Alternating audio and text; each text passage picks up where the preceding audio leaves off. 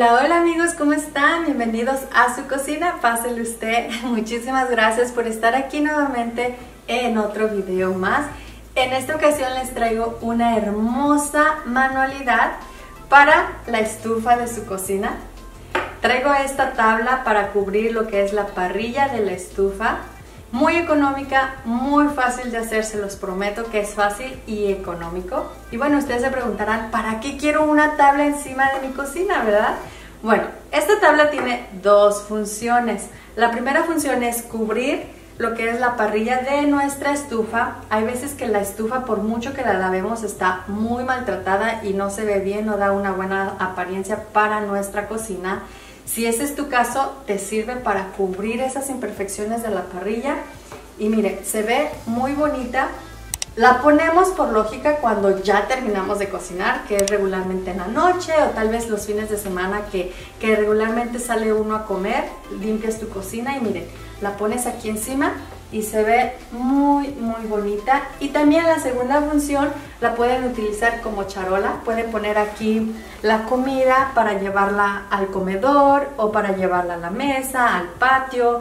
No sé también y está grande ¿eh? le, le caben buen de cosas y muy resistente. Es muy fácil de hacer. Esta tabla yo la vi en las tiendas en línea se llama la tienda Etsy. No sé si ustedes han oído hablar de esa tienda y la verdad son muy muy caras. Aquí les voy a mostrar cuánto cuestan estas tablas. Así que yo dije, se ven fácil de hacer. Yo voy a hacer mi propia tabla. Nada más tomé las medidas de lo que mide mi estufa, fui a comprar la madera y listo.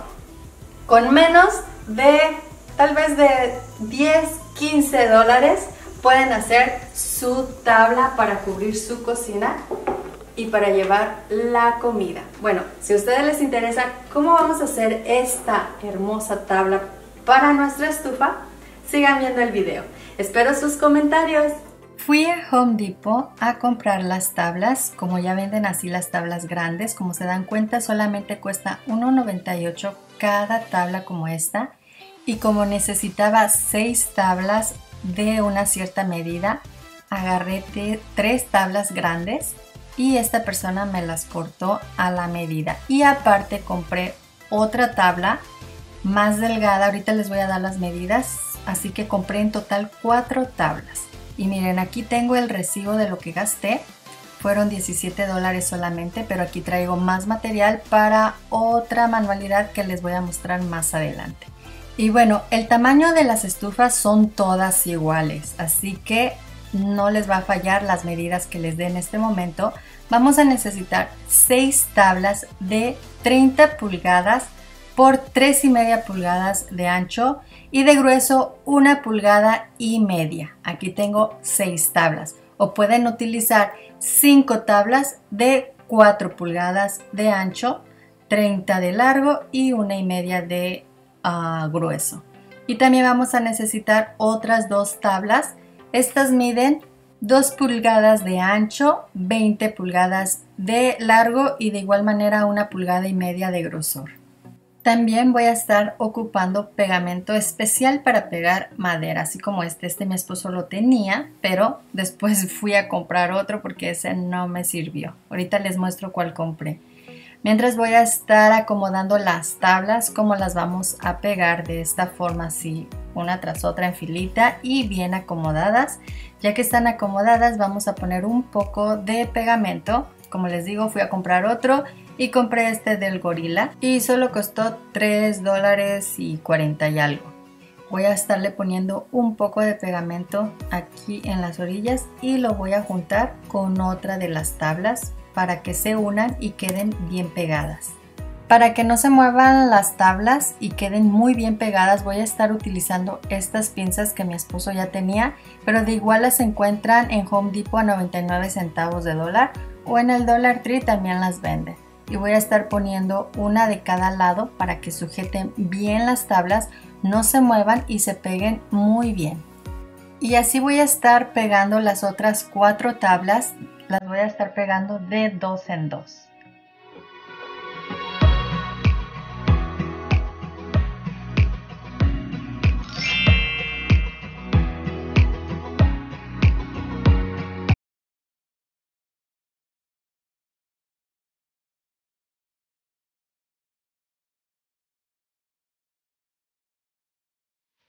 Ya que pegamos así de dos en dos, ahora vamos a unir estas tres. De la misma manera, vamos a poner un poco de pegamento y las vamos a ir uniendo. Y con las pinzas las vamos a ir sosteniendo.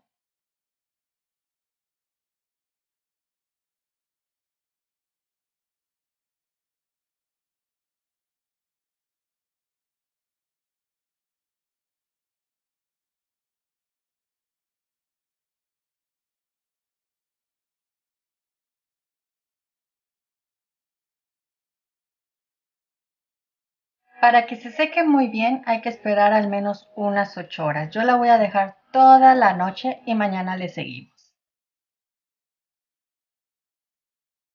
Bueno, al otro día ya la madera está muy bien pegada. Ahora voy a quitar las pinzas y vamos a empezar a lijar la madera. Ustedes si tienen la máquina para lijarla va a ser mucho mejor porque es más rápida y si no con una lija de mano pueden hacerlo.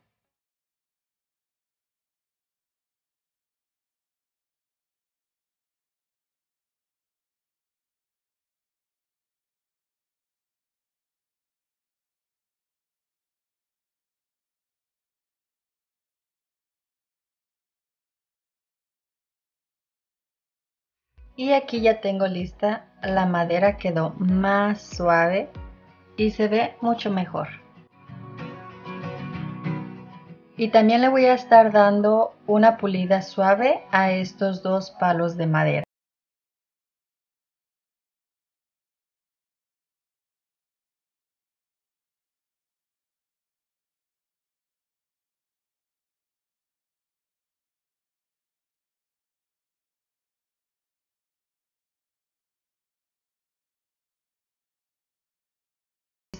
Estos palos.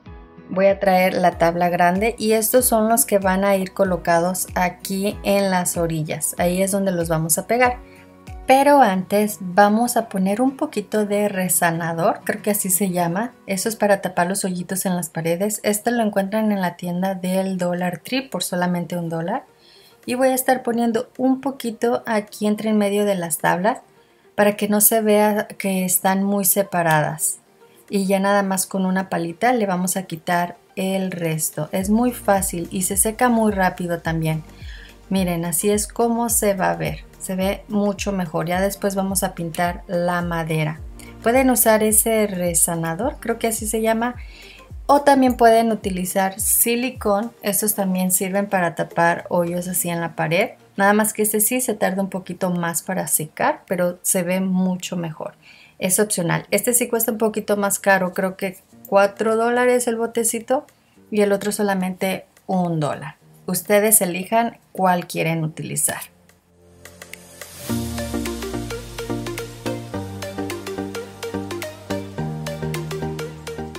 Después de unas horas ya que se secó el silicón o el resanador, vamos a pulir un poquito nada más por encima.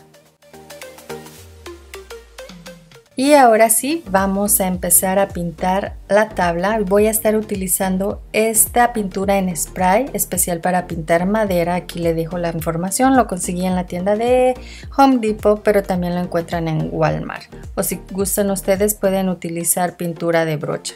Aquí mi esposo me está poniendo esta manta para poder pintar la madera sin manchar nada.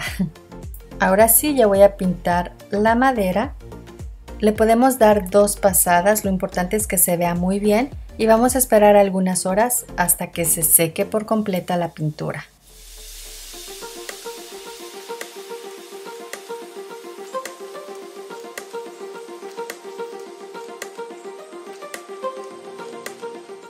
Ya que la pintura secó por completo, ahora le toca el turno de pegar las otras dos tablas aquí en la orilla.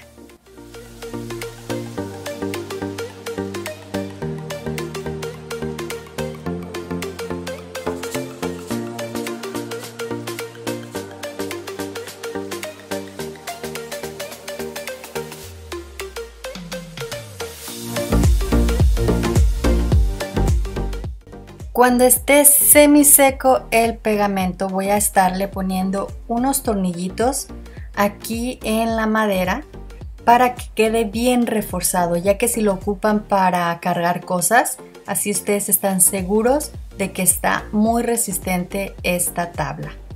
Miren, yo le puse dos, dos aquí abajo, dos arriba en cada tabla. Ahora vamos a estar pegándoles unas manijas aquí a los lados. Estas manijas las conseguí en la tienda de Menars, estaban en especial por un dólar cada manija y vamos a estar atornillando cada manija en cada lado.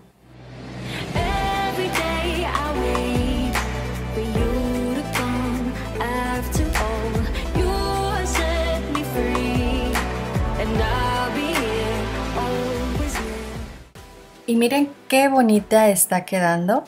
Ahora solo nos queda decorarla con algún diseño aquí en el centro de la tabla. Yo compré estas plantillas en la tienda de Amazon. Estas nada más las ponen aquí en el centro y con pintura acrílica van pintando. También compré estas, estas son más pequeñas. Aquí abajo en la descripción del video les voy a dejar el link de estas plantillas por si les interesa, pero si ustedes no quieren gastar más pueden utilizar plantillas que venden en la tienda del Dollar Tree, más bien estos son stickers y están muy muy bonitos también y económicos, solamente cuestan un dólar. Miren aquí en esta foto les muestra más o menos cómo quedaría el diseño, este es un corazón y este es otro corazón con plantas de suculentas. Se ven muy hermosos y esta es una buena opción para seguir ahorrando dinero. En la tienda del Dollar Tree venden variedad de stickers. Se los voy a mostrar para que vean cómo se ven con estos stickers. No los voy a pegar muy bien porque yo no voy a estar poniendo estos stickers en esta tabla. Nada más los voy a pegar por encimita, nada más para que vean cómo...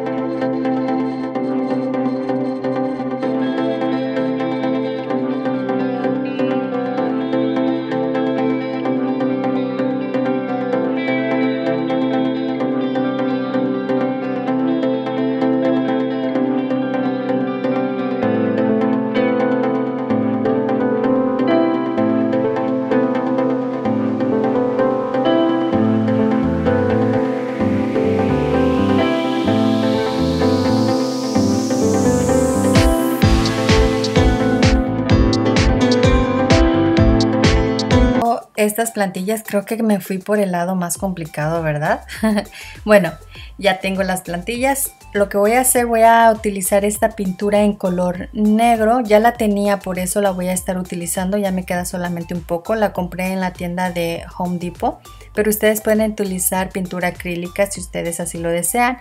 Y con alguna brochita pintaremos sobre las letras. Como esta plantilla la siento un poquito pequeña, lo voy a dividir así como en tres partes. Por ejemplo, voy a pintar primero las letras que están abajo y ya que sequen voy a subir un poquito la plantilla y pintaré lo que hay en el centro. Ya que secó, subo la plantilla y pinto lo que está arriba. Así el letrero va a quedar un poquito más grande. Y bueno, vamos a empezar a pintar. Y también voy a estarle poniendo un poquito de cinta a los lados para que no se vaya a mover la plantilla.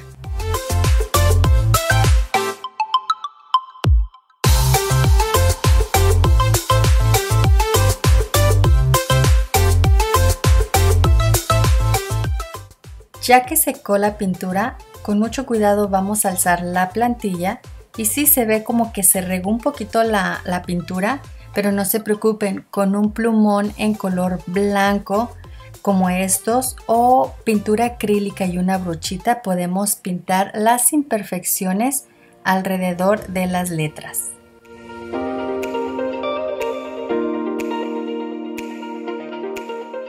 Y miren, ya se ve mucho mejor.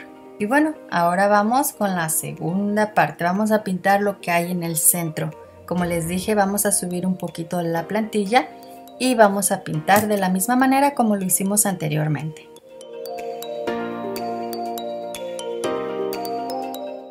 Este sí quedó perfecto, no se manchó para nada y ya que está seco, ahora vamos con la siguiente palabra. Con esta palabra sí se manchó un poquito, pero fácil. Con el plumón blanco vamos a borrar esas imperfecciones.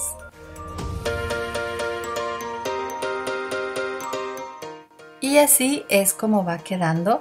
Aquí en la parte de abajo voy a estar utilizando otra plantilla con estas letras que ustedes, bueno, no alcanzan a ver, pero ya que las pinte van a ver, las voy a poner aquí abajo y estas son las palabras vive, ríe y ama. También voy a estarle quitando las imperfecciones. Y por último, voy a estar poniendo estas hojitas aquí al lado, pero yo las voy a pintar en color verde. Así que vamos a pintarlas.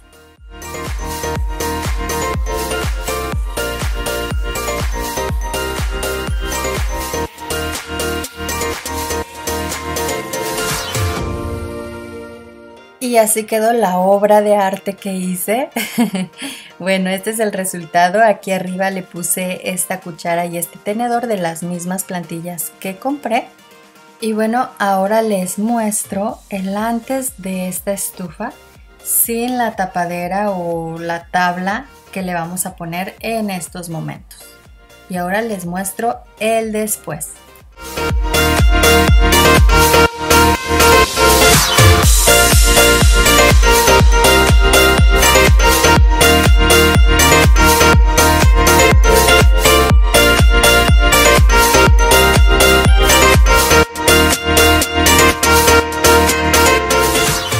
Espero que les haya gustado este hermoso DIY. Nos vemos para el próximo video. Bendiciones.